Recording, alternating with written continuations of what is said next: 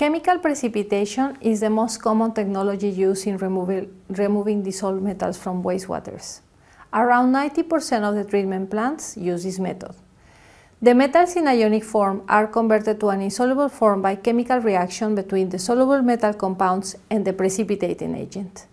The particles formed by this reaction are removed from solution by settling or filtration. The effectiveness of a chemical precipitation process is dependent on several factors, including the type and concentration of, eh, of metals, the precipitant use, the reaction conditions, particularly the pH, and the presence of other constituents that may inhibit the precipitation reaction.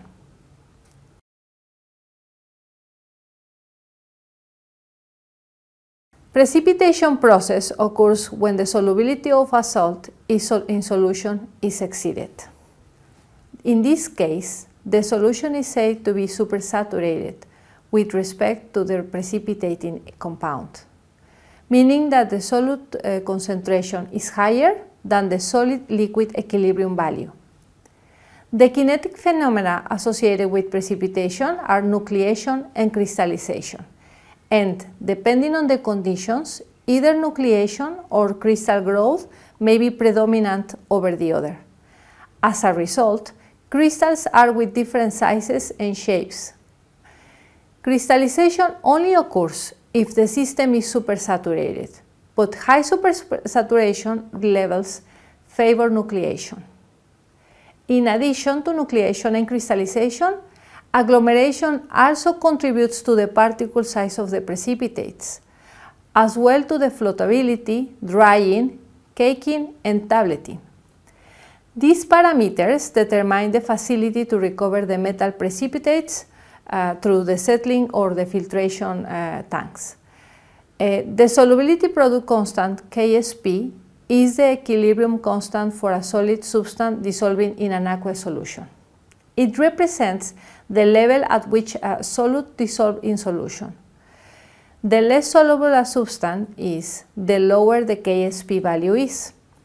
The solubility product determines if the metal will stay dissolved or will precipitate. KSP can be determined theoretically based on the maximum value that the ionic concentrations can have at equilibrium concentrations for a given temperature. This table shows the solubility of different metal sulfides and hydroxides when the maximum metal sulfide has dissolved at 25 degrees Celsius.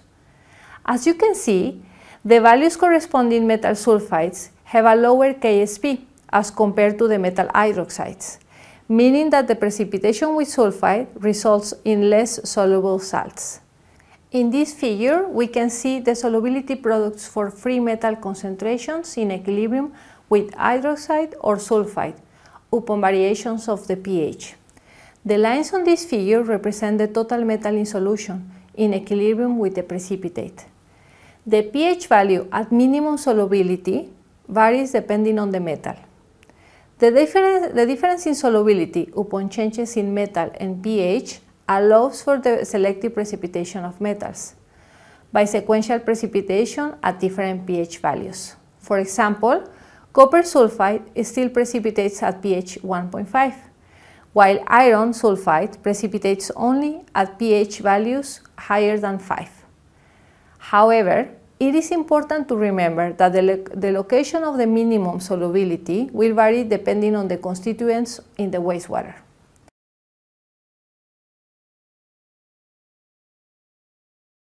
In wastewater treatment facilities, metals are precipitated most commonly as metal hydroxides through the addition of lime, caustic soda, and ammonium hydroxide. This is uh, carried out to a pH of minimum solubility. Of these chemicals, lime addition is the most commonly applied. The latter can be attributed to the fact that this is a simple, reliable, and cost-effective method, um, and also it is robust. Moreover, lime is non-toxic and non-corrosive chemical. so it does not require special safety precautions and storage materials. However, lime precipitation also has some limitations. For example, hydroxide precipitation generates large volumes of relatively low density sludge, which creates dewatering and disposal problems. Also, some metal hydroxides are amphoteric and therefore create problems in selection of ideal pH. In addition, metal hydroxide precipitation is inhibited if complexing agents are present in the wastewater.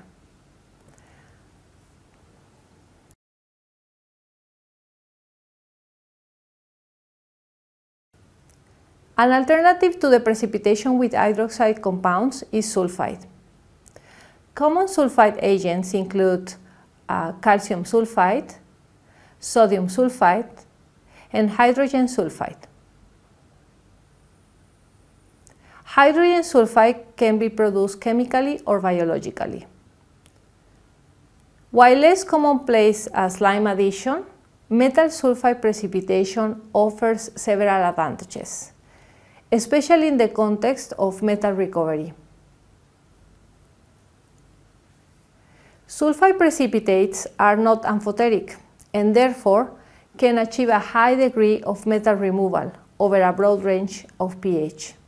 In comparison to a hydroxide precipitation, in addition, metal sulfide precipitates can be formed in more diluted aqueous solutions due to the very low solubility product of the metal sulfides. This allows achieving lower metal concentrations in the effluent as compared to hydroxide precipitation. Also, the generated metal sulfide sludge has lower water content and thus it shows better thickening characteristics that reduces its volume and therefore less transport costs.